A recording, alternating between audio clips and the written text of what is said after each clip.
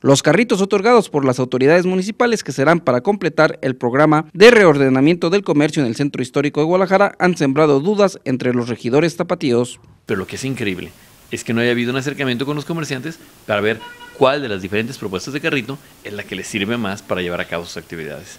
Personalmente me tocó entregar unos carritos, fui invitado como parte de la comisión este, dictaminadora y por la sorpresa que me llevé es que me tocó la persona que decía, a mí ese carrito no me sirve para nada, porque yo vendo aguas frescas y el carrito era un carrito de apenas unos 70 centímetros por 70, que tenía cuatro plataformas encima, que no tenían dónde acomodar bajo ninguna circunstancia un garrafón de agua y que definitivamente de manera muy clara él los argumentó que no le servía para la actividad que realizaba porque hicieron una adjudicación directa eh, con un proveedor que ni siquiera está registrado en el padrón de proveedores. Eh, las especificaciones del carro no cumplen con las necesidades de los comerciantes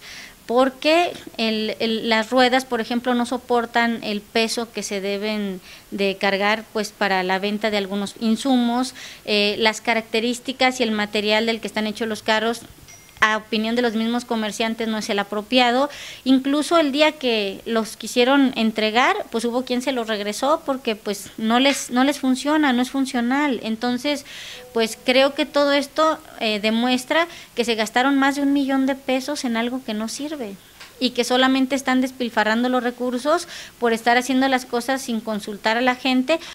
Con el convenio que el ayuntamiento realizó en cuatro estacionamientos de la ciudad, los comerciantes tendrán que resguardar las unidades al término del día, por lo que tendrán que pagar 500 pesos mensuales. Eh, precisamente de, de Marco Valerio, donde él señala que no se les iba a cobrar la renta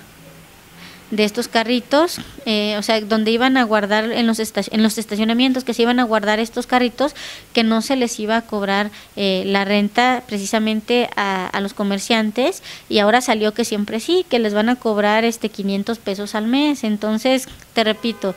hay muchas incongruencias y los están haciendo firmar documentos responsivas eh, sin saber si el día de mañana algo le pasa a esos carros, cuánto les van a cobrar por el daño. Digo, porque al final te están haciendo prácticamente firmar en blanco, ¿no? Esta gran presencia policial que inicia precisamente desde el mes de noviembre, cuando se iniciaron los operativos, y se mantiene precisamente hasta el momento. Esta gran presencia policíaca se justifica solamente mediante las acciones necesarias para que los comerciantes no se instalen en el centro cuando no tienen los permisos para llevar a cabo este tipo de actividad. Sin embargo, lo que no podemos dejar de reconocer es que la fuerza policíaca de la comisaría pues está limitada, limitada al número de elementos activos que tiene. De tal manera que todo lo que se está utilizando en el centro, pues obviamente está dejando de utilizar en las colonias.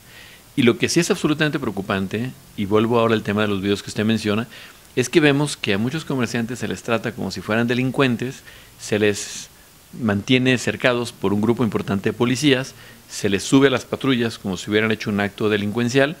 y por otro lado, pues en las colonias vemos que los índices delictivos aumentan de manera muy importante. Los robos a bancos, los robos conejeros, los robos a casas de habitación, los robos a vehículos, los robos de autopartes, siguen teniendo una presencia muy importante y lamentablemente lo que vemos es que pues, la comisaría está privilegiando el que no se pongan los ambulantes en el centro sobre las actividades de protección de los ciudadanos en temas de seguridad pública.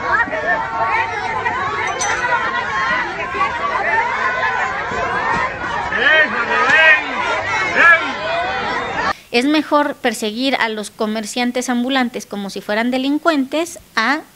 patrullar la ciudad. Entonces, como lo hemos visto en redes sociales, eh, si está el vendedor de Bonais, en vez de ir a atrapar a quienes están robando un banco, prefieren ir a perseguir a un peligrosísimo comerciante ambulante y ya nada más le falta poner en su informe de actividades misión cumplida hemos detenido esta gran red de tamaleros, hemos detenido esta gran red de vendedores de bolis, o sea, discúlpame, nadie votó por él para que persiguiera a la gente que trabaja honestamente.